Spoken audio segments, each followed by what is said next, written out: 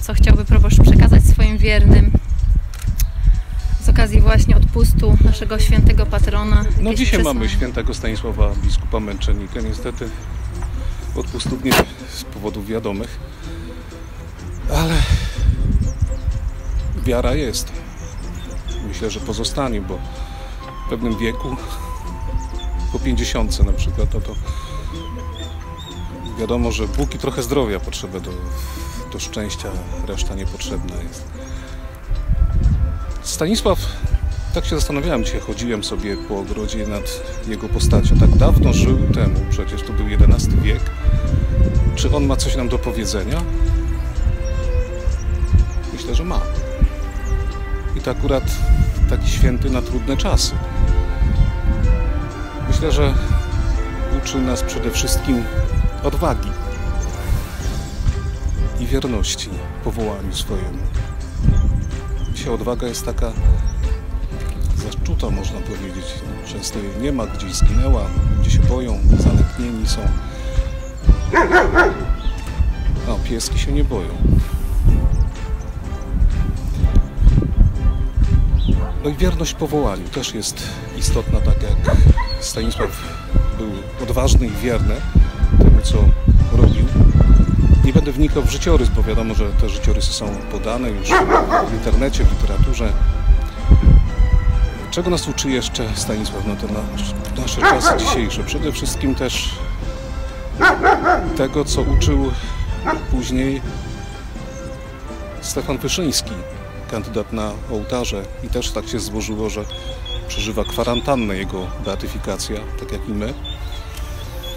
A uczył nas, że non possumus, czyli nie możemy pewnych rzeczy, na pewne rzeczy pozwalać. E, Tak jak w pierwszych wiekach chrześcijaństwa za Dioklecjana byli prześladowani męczennicy za to, że brali udział w mszy świętej w Eucharystii, oni też mówili non possumus, nie możemy nie mieć niedzieli.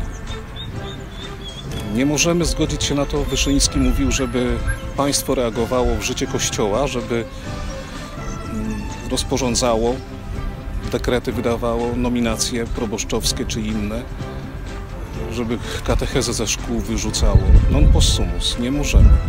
Tego uczył też Stanisław biskup Męczennik. Nie możemy pozwolić na to, żeby król tak reagował na upomnienia, na to, że źle robi, źle postępuje, że niszczy naród. W liturgii czytań z dnia dzisiejszego jest powiedziane o dobrym pasterzu.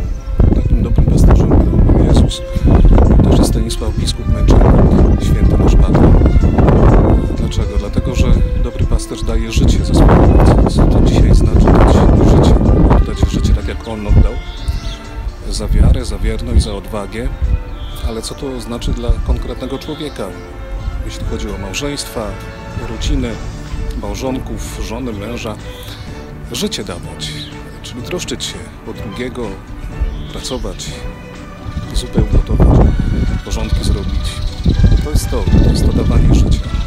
Tego nas też uczy Stanisław, biskup męczennik, nasz patron.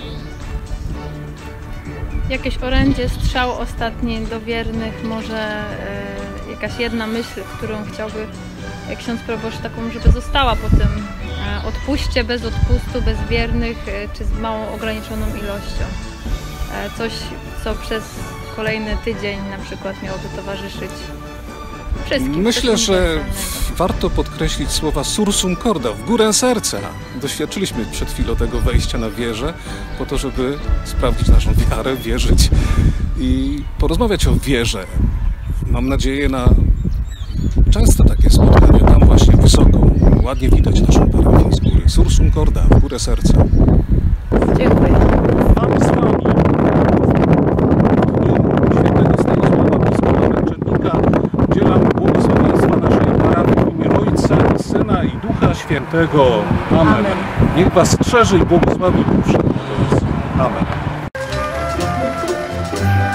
Zapowiedziano znów koniec świata Ludzie widzieli znaki na niebie A ja z radością na koniec świata Na koniec świata biegnę ciebie, do ciebie, do ciebie.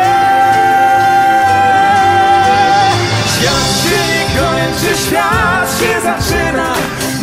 Miłość do świata, sens i przyczyna. Dopóki kocha się twoje ludzi, słońca na niebie,